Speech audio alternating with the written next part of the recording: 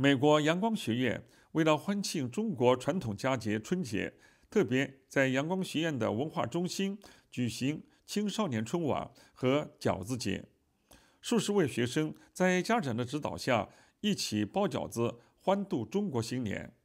核桃市市长苏完秀兰、帕萨迪纳市副市长约翰肯尼迪、美国东北总商会会长陆霞等嘉宾应邀出席。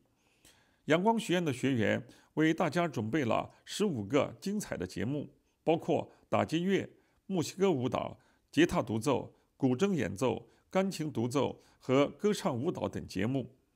阳光学院的院长冰人表示，春晚活动都是由阳光学院的学生自己来操办。今年特别请到四肢瘫痪的歌手君子来演唱，希望通过他的励志故事来激励更多的学生努力学习、茁壮成长。今年是大年初一，是我们阳光学院的小朋友们共同庆祝中国的节日，是我们的新年。我们每天都快快乐乐的生活。今天我们集体包饺子，把这份爱送给全球的海外的孩子们。